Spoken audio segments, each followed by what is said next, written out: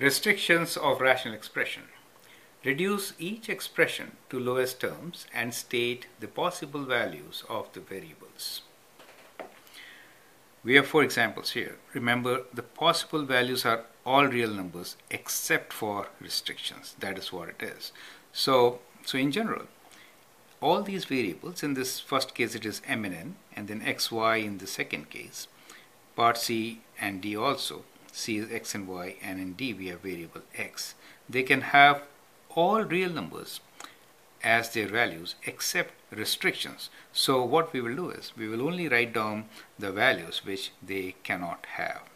Okay so starting for part A denominator will be 0 if m is 0 or n is 0 so we say that m is not equal to 0 and n is not equal to 0 in this case, x is not equal to 0 and y is not equal to 0.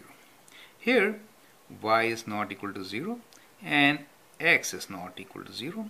These are the values which are not permitted for the given expressions. Here, x is not equal to 0 and this will be 0 for x equals to minus 2. So these are the restrictions. So I've written the restrictions first. That is what you should be doing. You should always write restrictions first and then simplify. So, simplify to lowest terms. Okay. Now, we have to look for common factors. In the first one, n and n are common, we can cancel. m squared divided by m will be just m, so we can cancel this out. 6 and 10, both can be divided by 2. So if I divide this by 2, I get 3. This by 2, I get 5.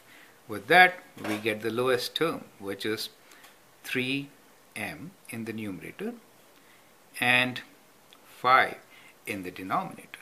So that is how you can reduce each rational expression to lowest terms, right?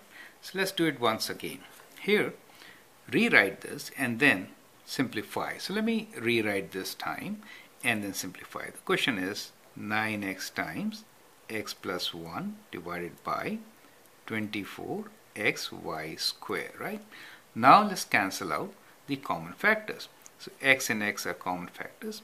9 and 24 both can be divided by 3, right? So we get 3 times 3 and 3 times 8.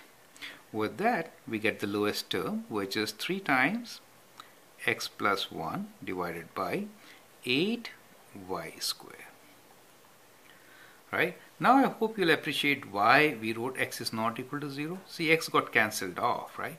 So if you look at the simplified form, you will miss one of the restriction. That is kind of error, right? So avoid errors, write restrictions first. In this particular case, you can do the needful. You can cancel the y's, right? So we can cancel the y's. We can cancel the x, correct? And 14 and 35 both can be divided by 7 7 times 2 and 7 times 5 with that you can write down your answer right? Here again one of the x's get cancelled.